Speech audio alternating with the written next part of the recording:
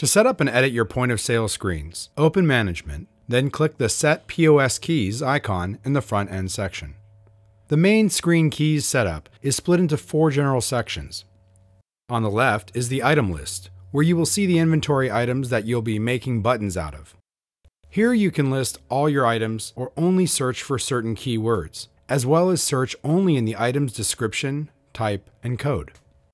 The bar at the top is where you add and edit your key sets if you use them, and add and choose which menu page is currently displayed. The button layout area shows a preview of what the current menu's buttons look like, and allows you to move, delete, and create new buttons. Here the top two rows are dedicated to your menu pages, and the remaining buttons below are item buttons.